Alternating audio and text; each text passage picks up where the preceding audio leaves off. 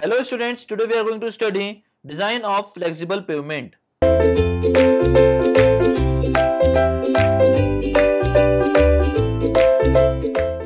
the first topic is method of pavement design. Various approach for flexible pavement design may be classified in a three broad groups. The first one is empirical method. These are based on physical properties and strength parameter of soil subgrade.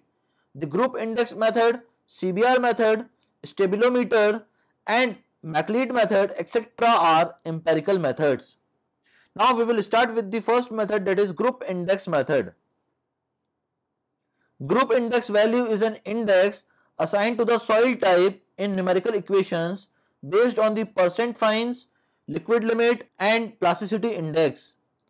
The group index value of soil vary in the range of 0 to 20 the higher the group index value, weaker the soil subgrade, hence greater thickness of pavement required.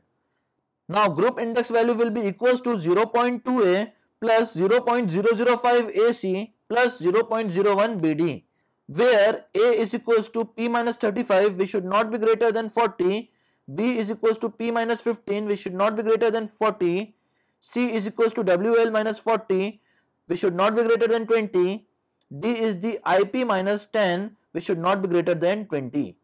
Now P is defined as the percentage finer that is percentage of soil passing from 0.075 mm sieve. WL is the liquid limit of the soil and IP is the plasticity index of the soil which will be calculated by the formula WL minus WP that is liquid limit minus plastic limit.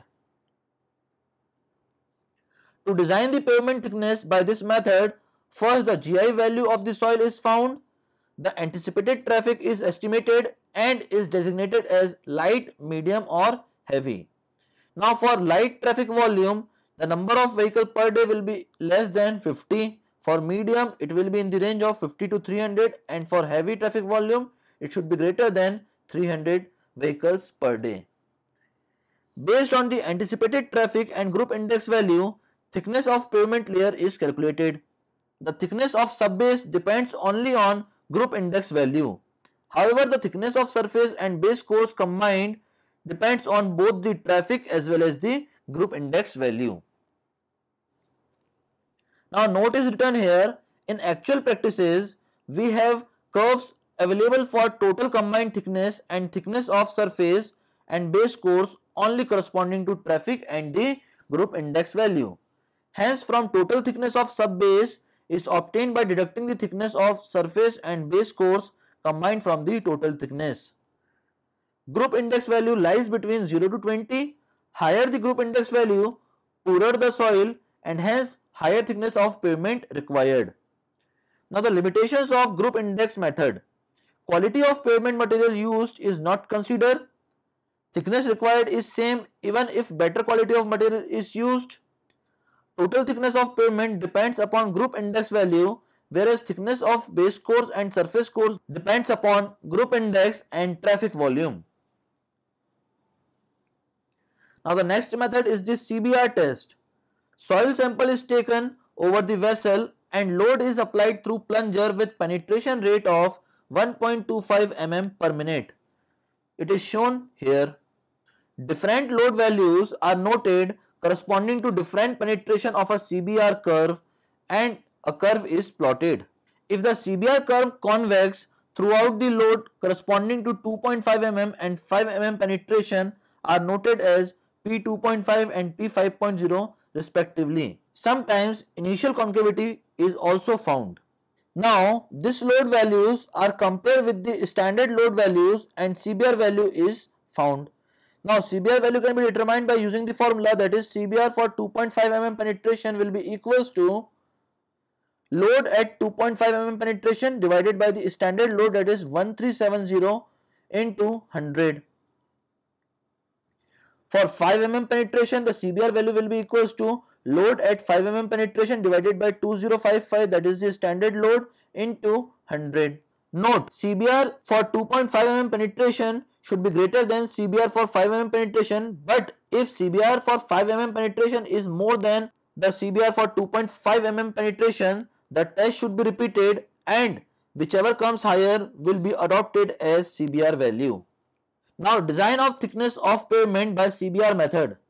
Thickness can be determined by using the formula that is under root of 1.75 p upon CBR value minus p upon pi small p which will be in centimeter where p is equals to wheel load in kg small p is contact pressure or tire pressure it can be determined by using the formula p upon pi p and the solution will be equals to a square. Now the limitations of CBR method. Quality of material is not considered for thickness design. This method is not valid for higher value of CBR that is CBR should not be greater than 12%. Now next method is the semi-empirical or semi-theoretical methods. These methods are based on stress strain function and experience that is triaxial method. Now according to the triaxial method, thickness of pavement required above subgrade layer can be determined by using the formula TP will be equals to under root of 3pxy upon 2 pi es into delta whole square minus a square minus es upon ep to the power 1 by 3. Now Tp is inversely proportional to ep so it will be equals to T1 upon T2 is equals to E2 upon E1 to the power 1 by 3. For single layer system, EP is equals to ES where P is equals to wheel load in kg, X equals to traffic coefficient, Y is rainfall coefficient, ES is modulus of elasticity of subgrade in kg per centimeter square, delta is design deflection in centimeter, A is radius of contact area in centimeter and EP is modulus of elasticity of pavement in kg per centimeter square. Now the theoretical method for the flexible pavement design. These are based on mathematical computation. For example, Burmister method is based on elastic two-layer theory. Now, according to the Burmister layered system method, the assumptions of this method is material in each layer are isotropic, homogeneous and elastic. Pavement forms a stiffer layer having value of E than that of subgrade. The surface layer is infinite in horizontal direction but finite in vertical direction. It means that the length and width is infinite and height is finite. Layers are in constant contact. Donald M. Burmister developed the layered system analysis. The flexible pavement sections are composed of layers and the elastic modulus of the top layer is the highest. This method is based on modulus of elasticity of different layers. As per layered system, modulus of elasticity of base course should be greater than modulus of elasticity of sub-base course should be greater than modulus of elasticity of soil subgrade. Young's modulus of elasticity of upper layer should be higher as compared to that of lower layer. Now displacement relationship by Burmisters. For flexible plate, the wheel load acting over a pavement or any other surface is considered flexible plate base. Now delta will be equals to 1.5 PA upon ES into FZ where delta is equals to design deflection, P equals to contact pressure at road surface due to wheel load, A equals to radius of contact area, ES is the modulus of elasticity of soil subgrade, H is the thickness of reinforcing layer, Fz is equals to value as per value of ES upon EP and H by A. This is called deflection factor. For rigid plate, delta will be equals to 1.18 Pa upon Es into Fz. The above formula is applicable when rigid plate used, like steel plate used in plate load test. If plate load test is conducted on soil subgrade only, in this case, thickness of pavement that is H is equals to 0, that is called single layer system, for which Fz will be equals to 1. In the derivation of displacement equation, the Poisson's ratio mu is taken as 0.5 both for subgrade and pavement material. That is mu s is equals to mu p is equals to 0.5. The plate diameter for load test may be taken as 30 cm and design deflection may be taken as 0.5 or 0.25 cm. It has been recommended that 9 trial sections be constructed 3 each on fill, cut and level area. In each type locality, 3 pavement thickness values equals to 2 by 3h, h and 1.5h are adopted and the actual pavement thickness required for the critical deflection is found.